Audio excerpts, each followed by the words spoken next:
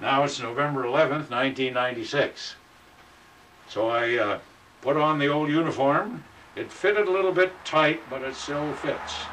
And the longer I have it on, the less tight it feels. In fact, I'm getting used to it. And I hope this tape will come out okay because I may never do this again. I want to take this hat off. This hat is a military hat. I don't have the kind with the bill, you know, the visor, the big, and the badge on the front. I lost that long ago. After I got out of the Army, I rode motorcycle for years, and I always wore my Army hat to ride the motorcycle. Now, see this thing here? That's the insignia of the 4th Air Force, March Field. And these little badges here are also 4th Air Force. Uh, this here is a radio operator insignia, which signifies that I was qualified to be one, I guess. These corporal stripes were only honorary. When I was in OCS, everybody's a corporal, and that's the only time I was ever a corporal is when I was in OCS. The rest of the time, and even then they didn't call you corporal, they called you mister. Everybody in OCS is mister. Or, by the way, I actually have the uniform pants on. I don't know if you can tell, but these are these are these wool. These are really heavy.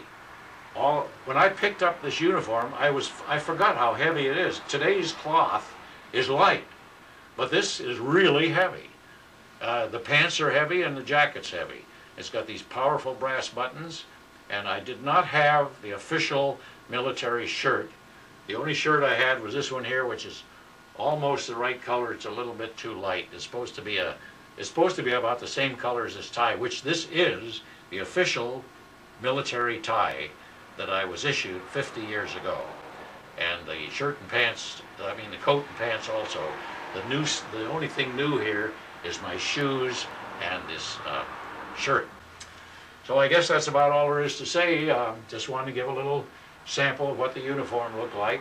And so I'll say so long. How's that for a salute? All right, here it is 14 years later. Another camera, high definition this time. Another location, Escondido. and the date today, July 30th, 2010. So now I'm 90 years old. I've lost 15 pounds and I fit the uniform a lot better than I did in that last clip. Now I'm going to stand up and let you see the whole thing. okay. Here's the whole uniform. You see the big the big uh, rolls of fat are gone, and it fits me pretty well. And the same uniform, the same insignia. This is the Fourth Air Force thing. By the way, I forgot to mention these little these little propeller things here. That also indicates Air Cadet when you get the round thing with the propeller. Well, I started out as a cadet, so I had those. Then this Fourth Air Force, I'm looking at the monitor and my hand is backwards. So Fourth Air Force, here's a here's the radio operator thing, and um, the corporal stripes. As I mentioned before, it was honorary. I was not a real corporal. So anyway, uh, just wanted to let you know what the whole uniform looks like. I do have the pants on, but uh, who needs pants? You can see them. You've seen one pants, you've seen them all. So here we are, July 30th, 2010, and son of a gun, I think I look just like I did when I 70 years ago in the army. Let's see, I was in there in 1943, so uh, that's uh, uh, let's see, 50, 67 years ago. How about that?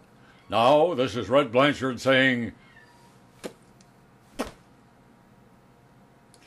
at ease.